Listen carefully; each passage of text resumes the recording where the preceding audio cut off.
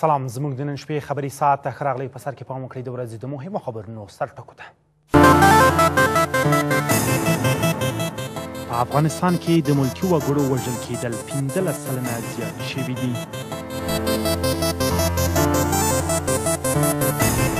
ولسي جرګې ته د یو شمېر امنیتي چارواکو غوښتل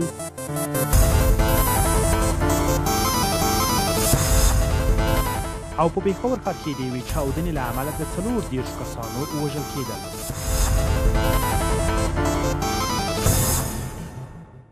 فرزاد لایمې یم او اوس هم پام وکړئ بشپړ خبرونو ته په هېواد کې د ملکي وګړو مرګ ژوبله د تیر کال په پرتله په سلو کې پنځلس لوړه شوې ده. ملګري ملتونه او د بشري حقونو خپلواک کمیسیون د ملکي وګړو مرګ ژوبله د زغملو وړ نه بولي. د دغو دوو بنسټونو د یوه ګډ رپورټ له مخې په دوه زره او لسم میلادي کال کې شاوخوا دوه زره او اته سوه ملکي وګړي وژل شوي دي چې په سلو کې پنځه اویا یې د دولت د مخالفو وسلهوالو په بریدونو کې خپل ژوند له لاسه ورکړی دی. د ملګرو ملتونو سازمان وایي د ملکي وګړو د مرګ ژوبلې د مخنیوي په اړه یې طالبانو ته یو لارښود استولی دی خو هغوی دې لارښود ته پام نه کوي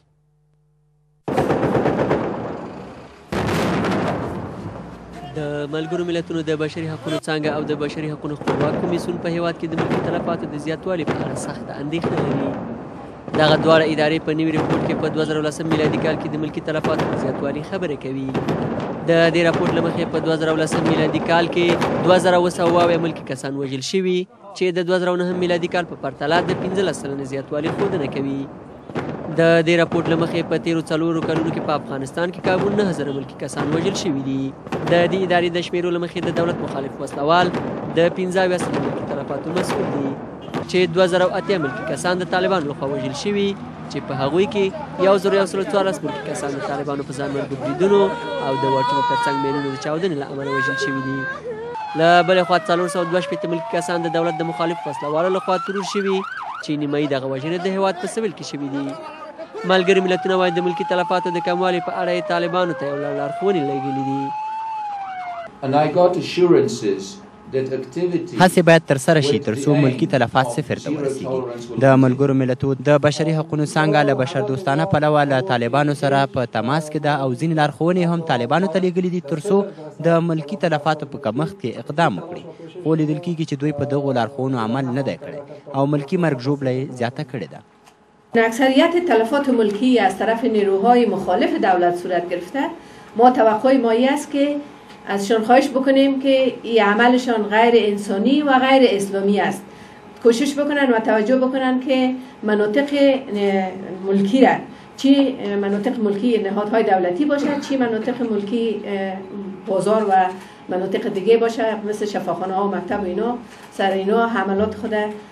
انجام ندن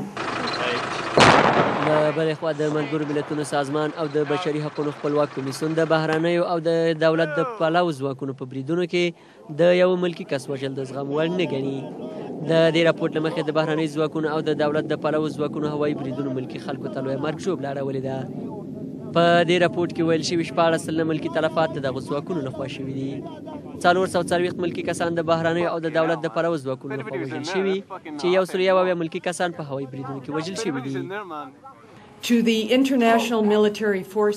له نړیوالو ځواکونو زموږ غوښتنه دا ده چې د ملکي تلفاتو د کمولو لپاره داسې تګلاره په پام کې ونیسي کله چې ملکي مرګ ژوبله کیږي باید خساره جبران او له خلکو سره همدردي وکړي. ملګري ملتونه د جګړې له ټولو ښکیلو لورو غواړي چې په افغانستان کې د ملکي تلفاتو د مخنیوي لپاره جدي هڅې وکړي د دې جګړې لپاره فوځي حل لاره نشته په دې هم پوهیږو چې روان کال باید د سیاسي مسلو د زیاتوالي کال وي خو دا په رسمي او جدي توګه غواړو چې په 2011 میلادي کال کې د افغانستان په جګړه کې ټولې ښکیلې ډلې باید د ملکي خلکو د خوندیتوب لپاره هڅې وکړي تېروتنې او وحشت د دې او ملکي تلفاتو د زیاتوالي لاملونه دي په داسې حال کې چې طالبان دغه رپورټ ناسم ګڼي خو په کابل کې د ملګرو ملتونو نمایندګۍ اعلان وکړ چې په بل رپورټ کې طالبان هم باید هغه شمیرې چې د ملکی تلفاتو په اړه یې لرلې دي له دې ادارې سره شریکې کړي ملګري ملتونه او د بشري حقوقو خپلواک کمیسیون په دې رپورټ کې د جګړې ښکېلو لورو ته د ملکی تلفاتو د مخنیوي لپاره 15 وړاندیزونه کړي دي په دې رپورټ کې له دولت څخه غوښتل شوي چې د ځایي پولیسو پر کار هم څارنه وشي تر څو هغوی له ملکي مرګ ژوبلې څخه ډډه وکړي.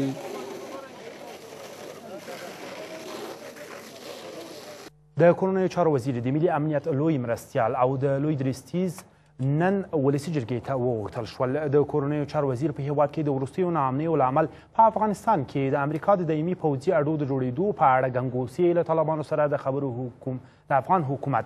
خبرې او له باندنیو ځواکونو څخه افغان ځواکونو ته د امنیتي چارو د مسؤلیت د سپارلو خبرې ګڼي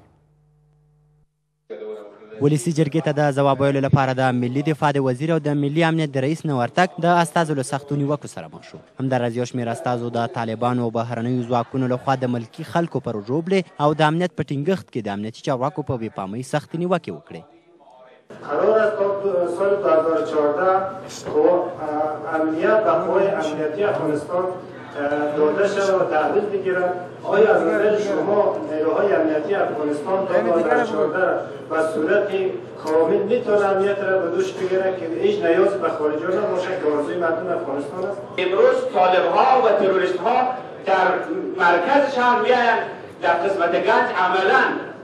در روز روشن اونا حضور پیدا میکنند بر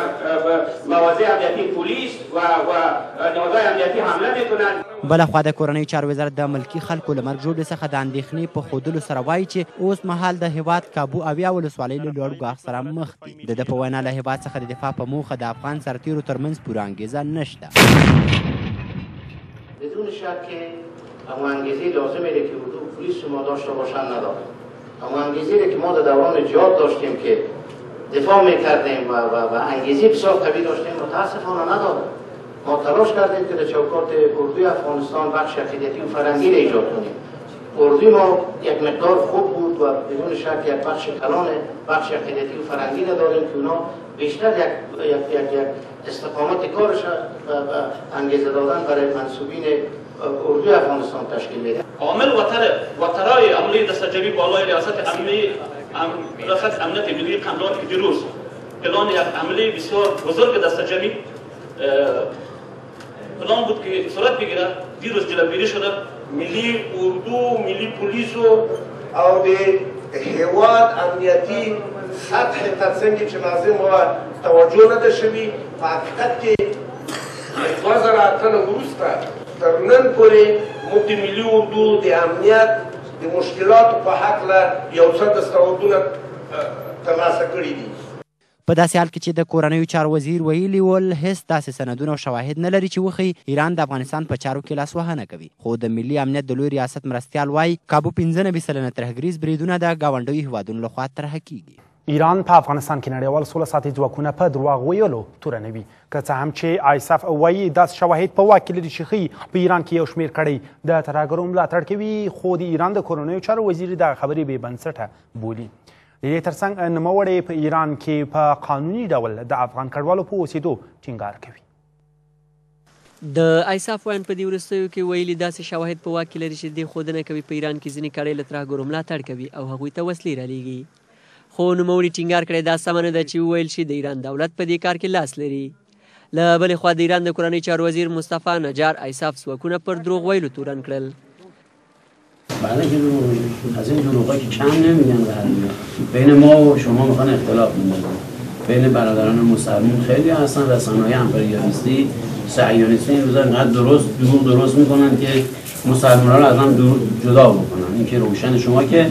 خود شما بهتر از من میدونید بعدم آقای وزیر کشور افغانستان این موضوع رو رد کرد خاغلی نجار د افغانستان د کډوالو او ستنیدونکو چارو له وزیر سره په خبرو کې د روزنې د ښې زمینې د برابرولو او له شپږ میاشت څخه یو کال ته د افغان کډوالو د پیژندپاڼو د وخت غځولو خبره وکړه د ایران د کورنۍ چارو وزیر د څرګندونو لمخې په دغه هیواد کې څه د پاسه 3 میلیونه افغانان اوسېږي چې ډیری له قانوني اسنادو پرته په ایران کې ژوند کوي له دې وړاندې له افغان کډوالو همداراز بندیانو سره د ایران د ناوړه چلند په اړه رپورټونه ورکړل شوي وو هرات به د هیواد لومړی ولایت وي چې تر راتلونکو څو میاشتو پورې د امنیتي چارو مسؤلیت افغان ځواکونو ته سپارل کیږي د هرات یو شمېر چارواکي وایي طالبانو په لویدیځه حوزه کې خپله وړتیا له لاسه ورکړې ده او دغه ډله نشي کولی د دولتي ځواکونو په وړاندې وجنګیږي ملي اردو څوارلس سوه فوځیان چې په دې وروستیو کې د هرات په دوه سوم ظفر قلي اردو کې خپلې زده کړې بشپړې کړې د هرات په بېلابېلو سیمو کې به ځای پر ځای شي د دوه سوم ظفر قلي اردو قوماندان وايي، که څه هم دوی د هوایي ځواک او وسلو له کمښت سره مخامخ دي، خو د هرات ولایت امنیتي ځواکونه دې ته چمتو دي چې له بهرنیو ځواکونو پرته امنیت ټینګ کړي. قوای امنیتي شما ای توانمندی از ایرا داره که